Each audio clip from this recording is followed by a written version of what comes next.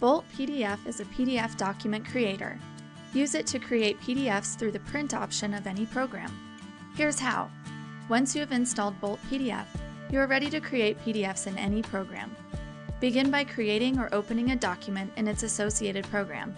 In our example, we have opened a Word document in Microsoft Word. When you're ready to create a PDF, you do not need to open the Bolt PDF program. Instead, go to the Print option for the document you are working on, usually found in the File menu. Next, in the Print dialog, select Bolt PDF as your printer and click the Print button. Select a location to save the PDF and click Save. That's it. Your PDF is now ready for you to email, upload, or archive. For more information about Bolt PDF's available settings, please refer to the help document found within the program.